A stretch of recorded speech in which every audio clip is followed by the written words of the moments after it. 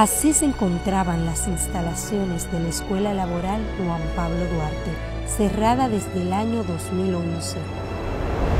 Pero ahora decenas de estudiantes desarrollan sus habilidades en la primera Escuela Municipal de Arte, Alta Costura y Diseño, que abrió sus puertas el 31 de mayo del presente año y es dirigida por el prestigioso diseñador Martín Polanco. Con tan solo cuatro meses de funcionamiento, estudiantes de esta escuela participaron en el Dominican Fashion Week.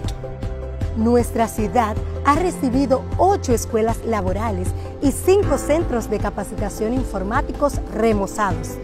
Te motivamos a cuidar y a sacar el mayor provecho de los centros comunitarios de formación y capacitación, porque la ciudad es de todos.